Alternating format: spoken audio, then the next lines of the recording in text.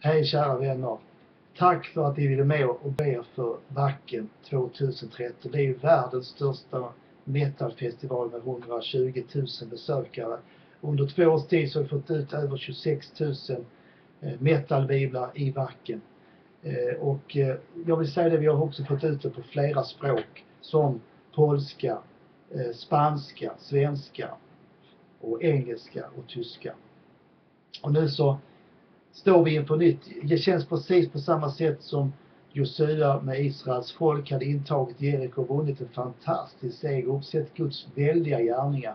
Men det är inte bara Jeriko intar, vi ska ta inta hela landet. Och så är det också med Vacken. Vi ska vara med och inta och sprida evangeliet till hela den här musikvärlden av metalfolk av, som kommer från hela världen. Och vi ber speciellt att artister ska bli frälsta.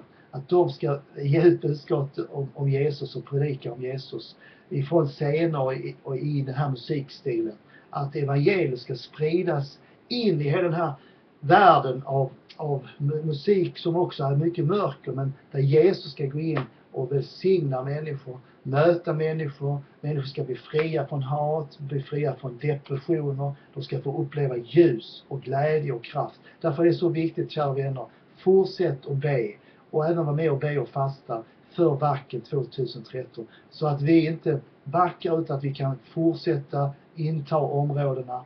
Och så ber jag att, eh, om Guds välsignelse. Nu tackar vi dig Herre för att du har en plan med backen. Och vi välsignar alla dessa metabiblar som vi har delat ut. Jag bara välsignar dem Herre. Och att många ska komma till tro på Jesus Kristus i backen och även på andra sådana metalfestivaler. Nu ber vi Herre att du ska välsigna, eh, artister ska bli frälsta. Vi, vi ber också Herre för människor som ska komma till tro på dig i Wacken. Halleluja, vi bara prisar dig för det. Tack för mina kära vänner som är i det här nätverket. Vi, vi ber att du ska tala på ett underbart sätt. Och så ber vi Herre för den sjunde, där vi ska träffas nere eh, i, vid backen och prata om Eh, de nya stegen vi ska ta. Och därför ber vi om din vishet och din kraft och ditt mod. Amen. Gud välsigna. Tack för att ni är med. Skicka ett mejl, en hälsning om det är något du känner och vill förmedla.